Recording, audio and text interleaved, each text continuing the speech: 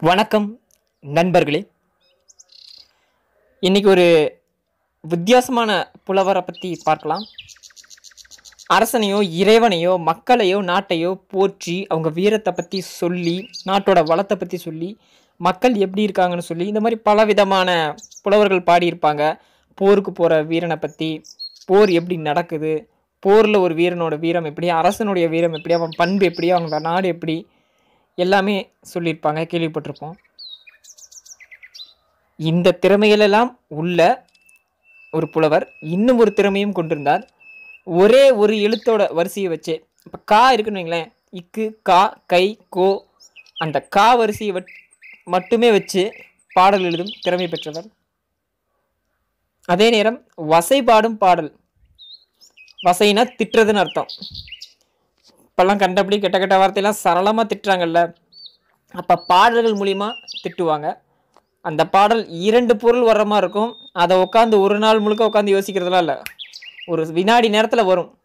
அந்தளவுக்கு அவங்களுக்கு தமிழ் ஞானமும் பற்றும் இருந்தது. ஒரு பொருள் படி பார்த்தோம்னா அது நல்லா பாராட்டுற மாதிரி இருக்கும். ஆனால் அதுக்குள்ளே உட்பொருளை பிரித்து பார்த்தோம்னா கண்டபடி திட்டுற மாதிரி இருக்கும். அந்த மாதிரி ஒரு வித்தியாசமான புலவர். அதுக்காக அவர் வந்து தவறான நோக்கமுடையவர் அப்படிங்கிற ஆயிராது. அவருடைய திறமை அந்த மாதிரி இருக்கும். அவர் திரு காலமேக புலவர் அவர்கள் பதினைந்தாம் நூற்றாண்டில் வாழ்ந்த தமிழ் புலவர். சமண சமயத்தில் பிறந்த இவர் திருவானை கோவிலைச் சேர்ந்த மோகனாங்கி என்ற நாட்டிய கலைஞரிடம் மனதை பறிகொடுத்து தன் காதலுக்காக சைவ சமயத்துக்கு மாறினார். இவர் பல நயம் மிகுந்த பாடல்களையும் சிலேடை பாடல்களையும் நகைச்சுவை பாடல்களையும் பாடியுள்ளார். சமயம் சார்ந்த நூல்களையும் இவர் இயற்றியுள்ளார். இவர் எண்ணற்ற வித்தியாசமான பாடல்களை இயற்றியிருக்கார். அதில் நாம் இரண்டு பாடல்களை மட்டும் பார்க்கலாம். மூன்றாவதாக இன்னொரு பாடலும் கடைசியாக கொடுக்குறேன். அது மேலோட்டமாக பார்த்தா ஒரு பொருள் தரும். அதோட பொருளை பிரித்து பார்த்தீங்கன்னா இன்னொரு பொருள் வரும். ரொம்ப நுணுக்கமான தமிழ் வார்த்தைகள்லாம் இல்லைங்க. சாதாரணமான தமிழ் வார்த்தைகளை தான் உபயோகப்படுத்தியிருப்பார். ஈஸியாக அதை நம்ம டிகோட் பண்ணிடலாம். வாங்க அந்த பாடல்களை பார்க்கலாம். கா என்ற எழுத்தை மட்டுமே கொண்ட பாடலை காலமேக புலவர் பாடியிருக்கிறார். அந்த பாடல் காக்கை கா கா கூகை கூகை கா காக்கை கோக்கு கூ காக்கை குக் குக் கொக்க கை கை குக் காக்கை குக் கை கை கா கா. ஒன்றும் புரியலீங்களா? திக்கிற மாதிரியே இருக்கா? அதெல்லாம் இல்லைங்க. வெறும் கா வரிசையை மட்டுமே வச்சு தமிழில் எழுதப்பட்ட ஒரு பாடல்.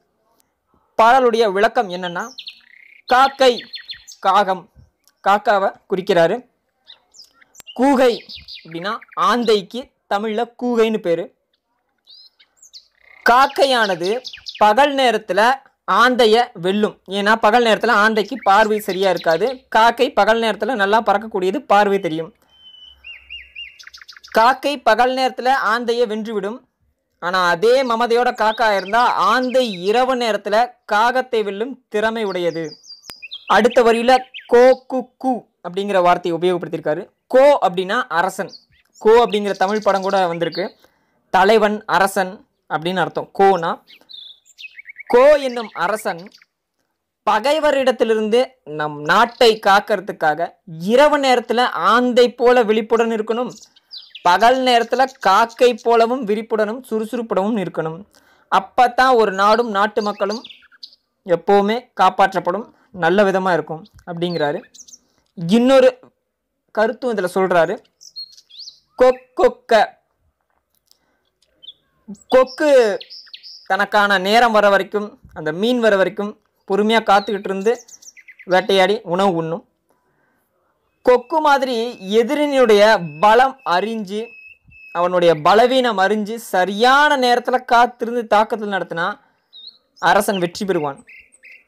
நான் மிகப்பெரிய திறமசாலி எப்போ வேணா போய் நான் தாக்குதல் நடத்தலாம் அப்படின்னு ஒரு அரசன் போனால் அவன் எப்பேற்பட்ட திறமசாலியாக இருந்தாலும் தோல்வி அடைய வாய்ப்பு இருக்குது அப்படின்னு ஒரு அரசனுக்கு அறிவுறுத்துகிற மாதிரி ஒரு வார்த்தையோட வரிசையை வச்சு இந்த பாட்டை எழுதியிருக்காரு. இதே போல் தா அப்படிங்கிற வார்த்தை வரிசையை வச்சும் பாடல் எழுதியிருக்காரு. அதையும் பார்க்கலாம் வாங்க. தத்தி தா தூதுதி தாதூதி தத்துதி துத்தி துதைதி துதை தத்தா தாதுதி தித்தித்த தித்தித்த தாதெது தித்தித்த தொத்தாதாதெது தித்தித்த தாது. ஏதோ வாய் பேச முடியாத ஒரு தத்த தத்த தொத்தக்கா பெத்தக்கான்னு பேசுகிற மாதிரி இருக்கா? இதனுடைய அர்த்தம் என்னன்னா வண்டு தேன் தேடுற தேனீக்கள் பூச்சிகள் அதில் தேனியை பார்த்து சொல்கிறாரு தத்தி தாவி ஒரு பூவிலேருந்து இன்னொரு பூவுக்கு தேன் தேடி போகிறீங்க அந்த மகரந்தத்தையும் இன்னொரு பூவுக்கு எடுத்துகிட்டு போகிறீங்க பூக்கள் இனப்பெருக்கம் செய்ய ஆண் பூ மகரந்த பொடிகளை வெளியிடும். தேன் குடிக்கிற வர பூச்சியில் அந்த மகர மகரந்த பொடி பட்டு பெண் பூ பேல உட்காரும் பொழுது இனப்பெருக்கம் நடைபெறும். அது அறிவியல் சொல்லுது. அதே அறிவியலை காலமேக புலவரும் இந்த பாடலில் சொல்லியிருக்காரு. ஒவ்வொரு பூக்களாக தாவி தாவி உட்காந்து தேன் குடிக்கிற தேனீக்களே எந்த பூவில் உட்காந்த நீங்கள் குடித்த தேன் எந்த பூவில் உட்கார்ந்து நீங்கள் குடித்த தேன் அருமையாக அமிர்தம் போல இருந்தது. அப்படின்னு தேனியை பார்த்து அவர் கேள்வி கேட்குற மாதிரி இந்த பாடலை எழுதியிருக்காரு. இந்த வரியில இந்த பாடலை எழுதணும் அப்படின்னு உட்காந்து யோசித்து சில நாட்கள் நேரம் எடுத்துக்கிட்டு எழுதுறது இல்லைங்க. அவங்க பெற்ற தமிழ் புலமை எப்படின்னா ஏதோ ஒரு வார்த்தையை சொல்லி ஏதோ ஒரு வரியை சொல்லி ஏதோ ஒரு எழுத்தை சொல்லி இதில் ஆரம்பிக்கிற மாதிரி பாட்டு எழுது இதில் முடிகிற மாதிரி பாட்டு எழுது அப்படின்னு சொன்னால் அவங்க உடனே எழுதுவாங்க. அந்த அளவுக்கு அப்போ திறமை இருந்தது. தமிழ் பற்று இருந்தது. உங்களுக்கு ஒரு பாடல் சொல்கிறேன் எளிமையான தமிழ் வார்த்தைகள் தான். அதை டீகோட் பண்ண முயற்சி பண்ணுங்கள்